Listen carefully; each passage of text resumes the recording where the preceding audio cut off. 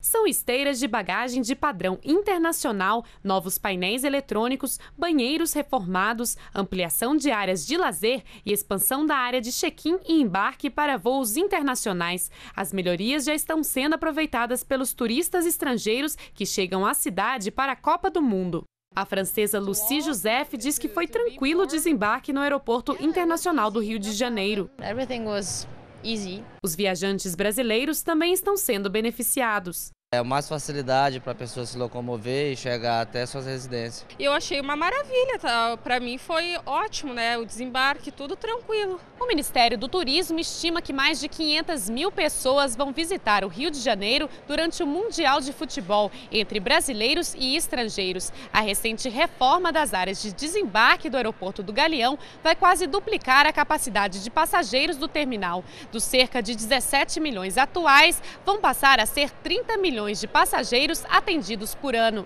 Neste domingo, a presidenta Dilma Rousseff conferiu as instalações e entregou a placa de inauguração do novo terminal. Logo depois, seguiu viagem de estreia no novo BRT da cidade, a Transcarioca, que liga o aeroporto do Galeão à Barra da Tijuca. Acompanhada de sambistas cariocas, Dilma parou no meio do trajeto para conhecer estações da Via Expressa, que homenageiam ícones da música popular.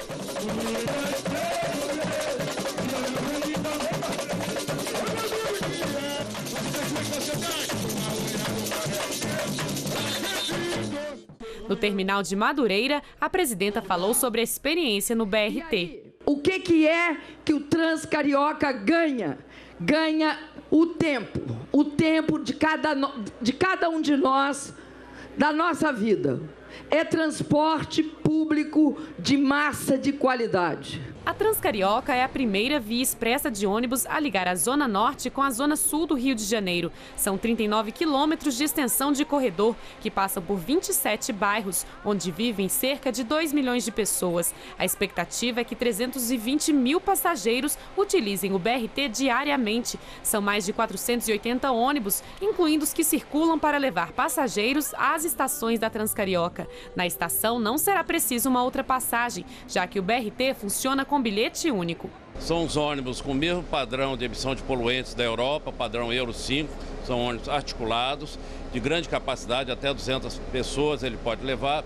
E ele tem um combustível novo aqui no país, que é feito a partir da cana, do, do diesel da cana.